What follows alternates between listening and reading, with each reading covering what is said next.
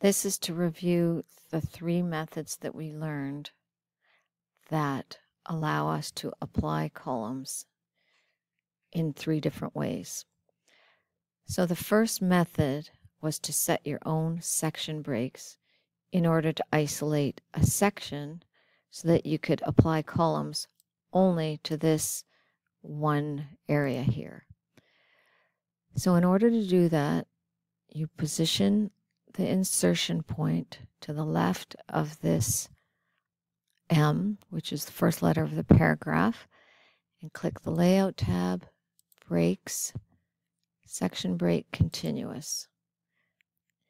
Then you go to the beginning where the next section would start, and you put in the Layout tab, Breaks, Section Break Continuous. Now they can be very small, but it's over here at the end of the document. Sometimes if you zoom in enough, the name will show up, but this one's just too small to display the name. So now that we have a section break at the beginning of this paragraph and at the end of this paragraph, we can just be clicked anywhere in the section and we can apply the columns. Method number two, and I'm going to remove this section break here and do method number two. If we select the text, we can then apply the columns. And the trick with this one is that it will make the section breaks for you.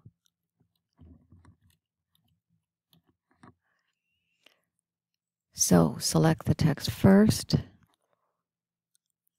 go to columns and make that two, and you will see that in this case it's very hard to see. You can see this section break after the word document, but I cannot see the other section break. Although I know it's there, uh, it's just that tiny, tiny blue lines. So, so that we can see it better, I'm going to switch this.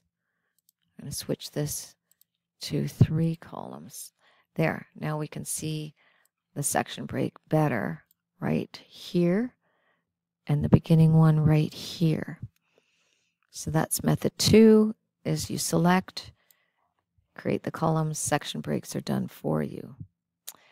The third method is to position your insertion point at the beginning of the section you're about to make and go into layout columns, more columns, and this time we'll do two and apply this uh, this column settings to this point forward.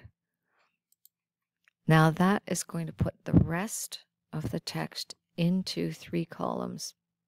And perhaps we didn't want this text in the end to be in there. So this method, you may have to do another uh, set of round, another round. So insertion point at the beginning, layout, columns, two from this point forward. And then you would have to put the cursor at the beginning of this red text and switch it back to one column from this point forward.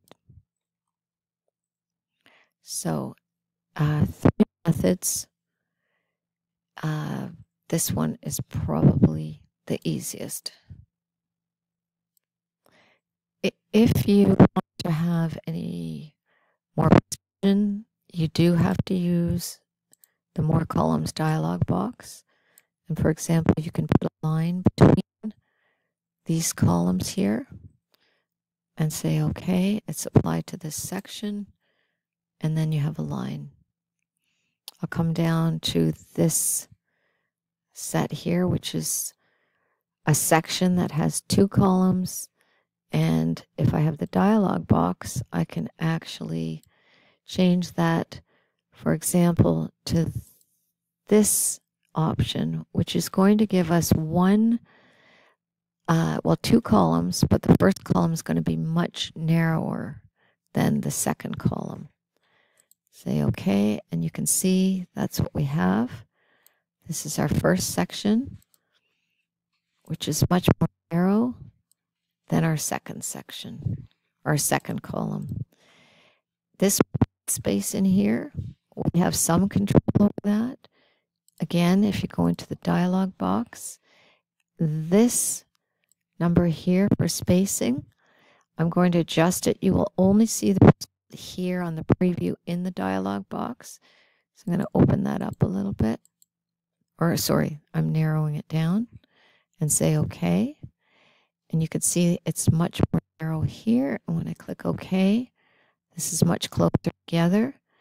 And just notice that if I put text right by the ruler, you can see that this little dark area is now our gutter. And if I come back in and make that spacing bigger this time, look at the preview, it'll be open wider. And watch this dark area in the ruler. And when I say OK, you can see that I made the gutter much bigger by using that setting in the dialog box.